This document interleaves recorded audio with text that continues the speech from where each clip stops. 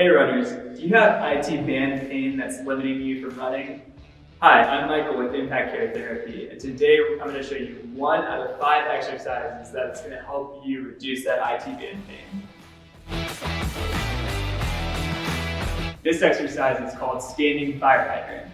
What you're going to do is you're going to stand on one leg, you're going to have the band around your knees, and then you're going to open up your hip, just like that. So you're going to rotate, open up the hip, do one more.